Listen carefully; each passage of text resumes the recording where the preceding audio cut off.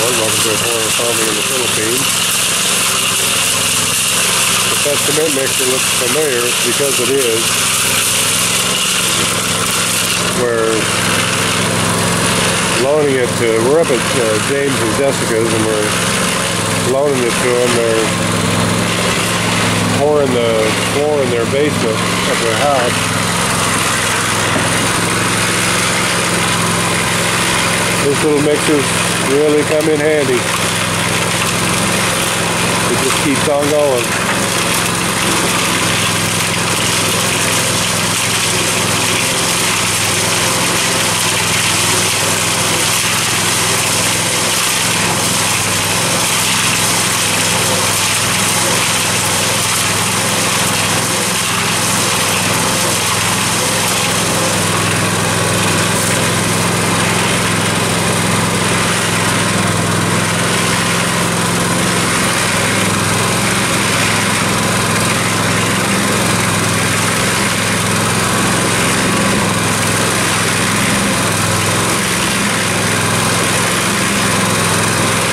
Those of you who haven't seen this mixer in action before, and it looks kind of familiar, yes, it is a Harbor Freight mixer, but I took the electric motor off of it and put that, I don't know, it's probably a five or a six horse uh, gasoline Harbor Freight motor on it.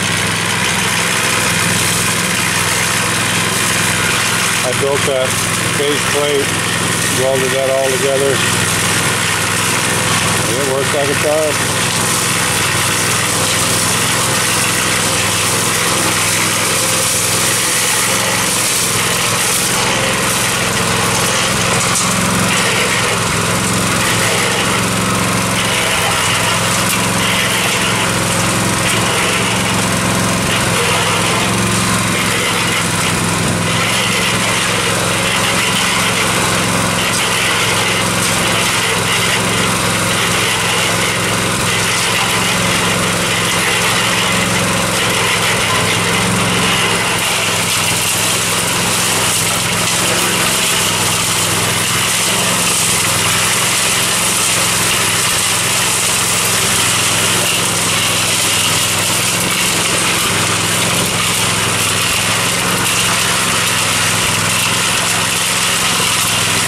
Just so much faster than mixing it by hand.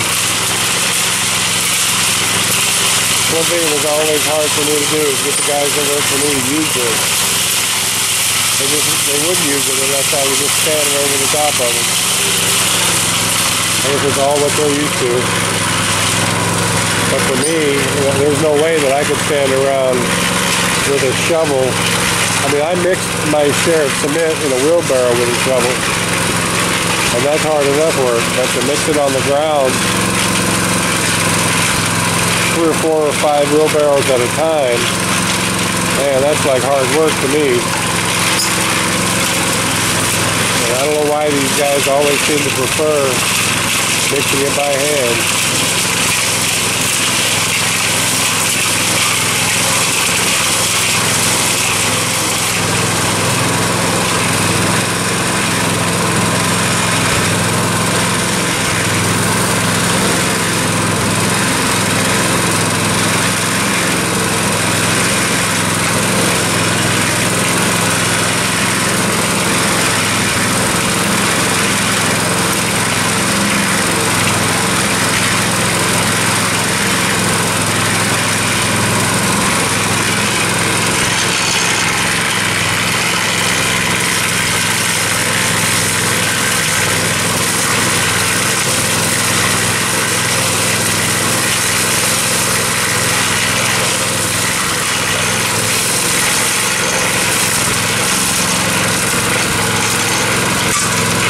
do like to mix their cement CP here.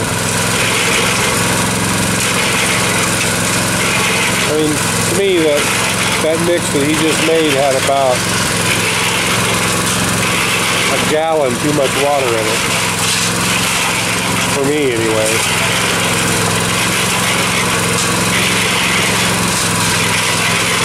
Maybe a half a gallon too much. It's just too wet.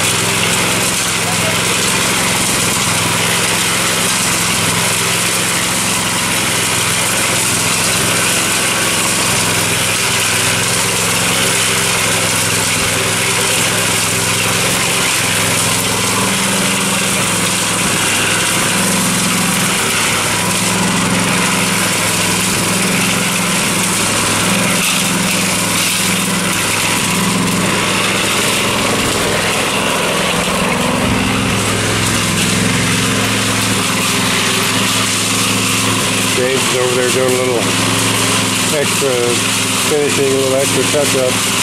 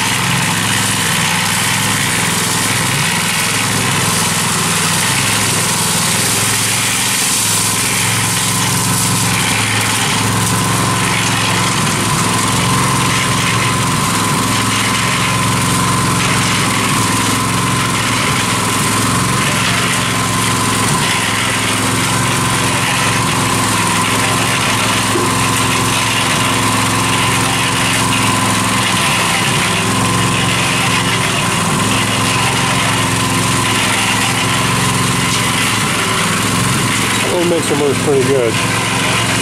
It mixes it, uh, it mixes it as fast as two guys can bring the material over.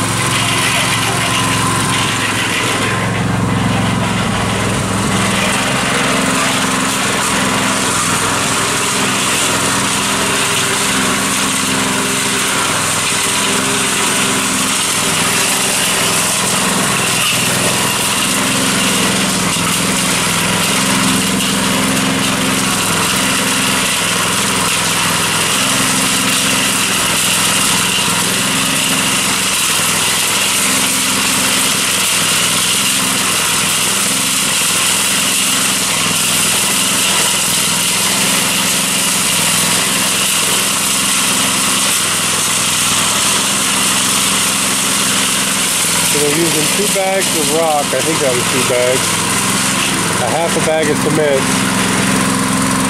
and one bag of sand.